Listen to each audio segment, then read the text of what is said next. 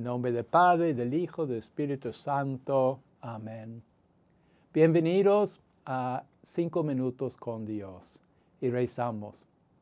Padre Celestial, nos has enviado a tu Hijo, nuestro Señor Jesucristo, para ser el buen pastor de tu rebaño.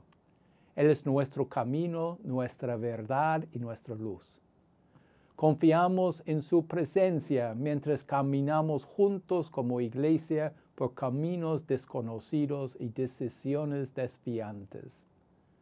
Te pedimos que tu gracia nos llene de esperanza para que compartamos la misión de llevar a toda la iglesia a los verdes pastos de la paz y la vida. Te lo pedimos por nuestro Señor y Salvador, que vive reina, ahora y por siempre. Amén. Durante el mes de octubre, la Iglesia Católica celebra un sínodo de una manera nueva y diferente.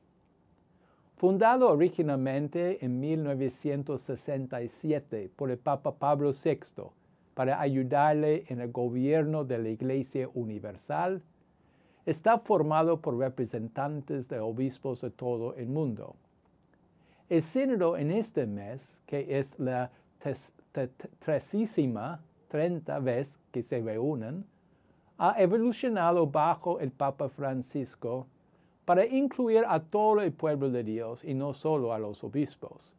Por lo tanto, nos reuniremos con el Sínodo de Roma en nuestro programa de cinco minutos con Dios durante las próximas semanas. Tres verbos nos ayudan a guiar el proceso. Caminamos, escuchamos, reflexionamos. Hay un importante principio aquí. El centro no es el yo, pero el nosotros. Y este es un desafío porque va en contra del individualismo que es corriente en la sociedad de hoy. Pero como San Agustín descubrió, solos no vamos lejos. Como él ha dicho, cuando ponemos el bien común ante nuestro propio bien, ahí es cuando sabemos que estamos creciendo en la caridad. La realidad de la iglesia hoy es tan variada como la cantidad de países y culturas donde ha echado sus raíces. En muchas partes del mundo la cultura secular ha debilitado la identidad de las personas que antes encontraba en la iglesia una roca firme. Los escándalos han sofocado alta consideración que alguna vez tuvo la iglesia en la sociedad y una cultura de silencio e incluso clericalismo ha contribuido a un sentimiento de alienación entre muchos que simplemente se sienten marginados. A la luz de esta realidad, el Papa Francisco ha llamado a la Iglesia a un propósito renovado Hace 30 años el Papa Juan Pablo II nos llamó a una nueva evangelización, nueva en métodos, nueva, en ador. Es la continuación de esta llamada que el Papa Francisco ha asumido con un llamamiento especial a la participación de todos los bautizados. Esto se conoce como proceso sinodal, porque la palabra sínodo significa caminar juntos. Una iglesia sinodal no es aquella que está dirigida por el clero, sino uno que descubre juntos todos nosotros lo que Dios quiere para la iglesia en el mundo de hoy. La iglesia no es un edificio, ni es simplemente los sacerdotes y obispos. La iglesia es el pueblo de Dios y por eso todos somos miembros y todos somos responsables de ayudar a que sea un signo de luz y esperanza en nuestro mundo en lugar de ser un signo de desesperación o irreverencia. Para San Agustín, la comunidad es donde encontramos fuerza para llevarnos unos a otros en el camino. Caminar como una iglesia peregrina demuestra que tenemos fe en una dirección clara. De los tres verbos, escuchar es la más difícil, dice el Papa. Él lo llama el ministerio de oído. Y nos dice, una iglesia sinodal es una iglesia que escucha, que se da cuenta de que escuchar es más que simplemente oír. Es una escucha mutua en la que todos tienen algo que aprender. El pueblo fiel, el colegio episcopal, el obispo de Roma.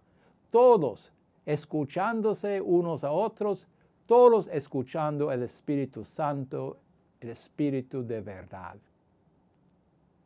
Y reflexionar significa que creemos que Dios tiene un plan y está guiado a la iglesia, está guiando a la iglesia.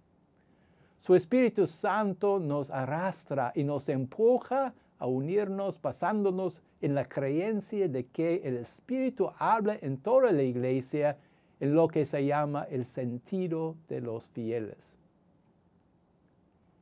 También creer que todos estamos llamados a participar, a dar nuestra perspectiva y opinión.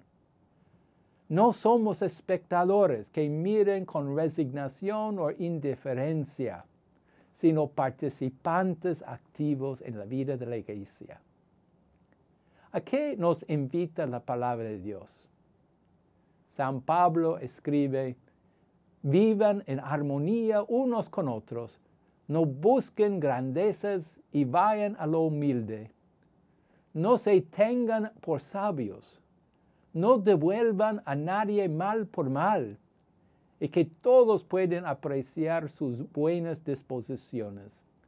Hagan todo lo posible para vivir en paz con todos. Y oremos. Señor, te pedimos que nos guías a nosotros, tu iglesia, para que nuestra comunidad de fe se convierta en un faro de luz, un estandarte enarbolado entre las naciones. Solicitamos su guía para que como iglesia caminemos juntos compartiendo los dolores de la historia y alimentando el sueño de que el redescubrimiento de la dignidad inviolable de los pueblos y de la función de la autoridad como servicio podrá también ayudar a construir la sociedad civil en la justicia y la fraternidad, y así lograr un mundo más bello y humano para las generaciones del futuro. Te lo pedimos esto en tu nombre. Amen.